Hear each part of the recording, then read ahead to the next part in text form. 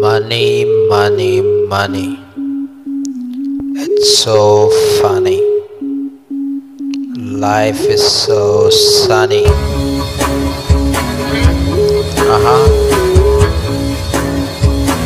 For the love of money is the root of all evil. Love of money, which while some coveted after, they have heard from their faith, gone astray, and pierced themselves with many sorrows.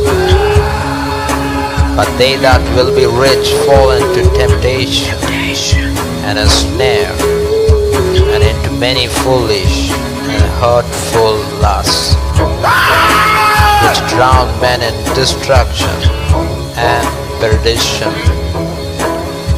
But thou, O man of God, flee these things and follow after righteousness, godliness, faith, love, patience, meekness.